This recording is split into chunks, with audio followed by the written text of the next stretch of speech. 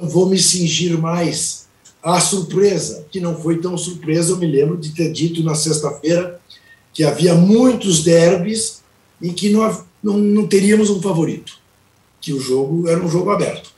E o Corinthians ganhou o jogo, mereceu ganhar o jogo, poderia ter perdido. O Palmeiras chutou a bola na trave quando estava um a um, jamais para o fim do jogo. E se ali o Verón faz o gol, provavelmente o Palmeiras vencesse. Não seria justo. A justiça foi feita com o segundo, terceiro ou quarto gols do Roger Guedes. Você escolha, né? Se o gol do Palmeiras foi contra ou não foi contra, é, o gol que ele estava impedido milimetricamente, que seria o do 2 a 0. Mas o fato é que o Corinthians mostra que está montando um time para jogar contra qualquer time brasileiro, né? e isso, de fato, né, muda o patamar do Corinthians, indiscutivelmente. Qualquer time? Ainda. Oi? Qualquer time brasileiro? Inclusive o, o trio? Sim, sim. Bom, o trio, um dos trios ganhou sábado. É. E eu não, não, é claro que o Corinthians não é melhor que o Flamengo, nem é melhor que o Atlético, mas é, não irá para um jogo contra o Flamengo ou contra o Atlético é, com a perspectiva de ser goleado. Vai ter jogo, vai ter jogo. Contra qualquer time, vai ter jogo. Né? É, e pode virar um belíssimo time. Curto período, porque é um time já veterano, mas pode virar um belíssimo time.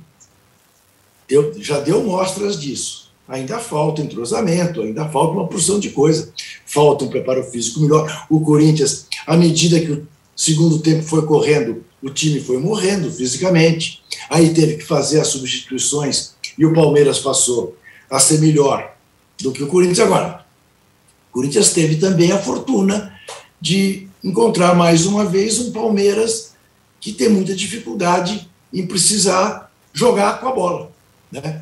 E é. foi essa a proposta, principalmente a partir do momento em que perdi o jogo. Deu sorte de empatar no fim ao achar um gol do primeiro tempo, mas o fato é que, até taticamente, o Corinthians eh, não foi inferior ao Palmeiras, porque o Palmeiras tem esse problema crônico dele de ter dificuldade em jogar com a bola, né?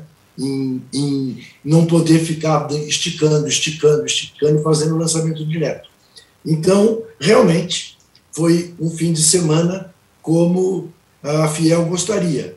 É, até pelo sofrimento que foi ganhar no sábado e ganhar com dois gols de um ex-jogador do Palmeiras que saiu do Palmeiras nas circunstâncias em que saiu.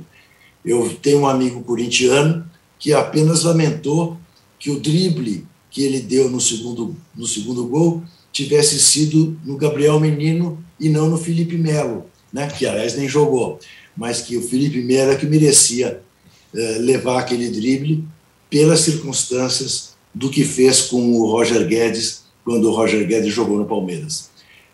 Palmeiras está numa situação, Palmeiras ou classifica amanhã, que é uma tarefa muito difícil, ou eu não sei não.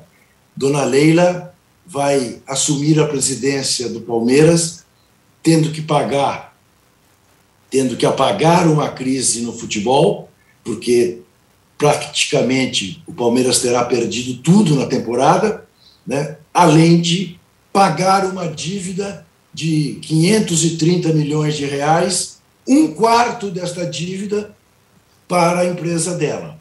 Se isso não é conflito de interesse, eu não sei mais o que é conflito de interesse. Qual